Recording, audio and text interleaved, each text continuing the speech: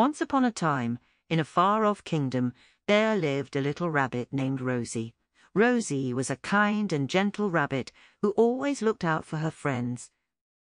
One day, while Rosie was out looking for food, she came across a group of animals huddled together in a corner. Upon closer inspection, she realized that they were all shivering with cold. Without thinking twice, Rosie quickly ran back to her burrow and gathered all the warm blankets and pieces of cloth she could find. She then rushed back to the animals and wrapped each one of them up in a blanket. The animals were overwhelmed by Rosie's kindness and thanked her for her generosity. They couldn't believe that a small rabbit like Rosie had such a big heart.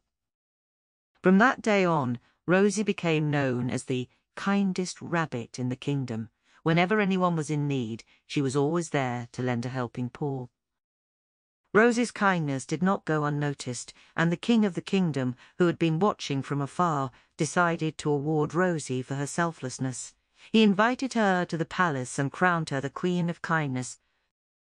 Rosie was ecstatic and grateful, but she knew that the true reward for kindness was the happiness it brought to others. And so Rosie continued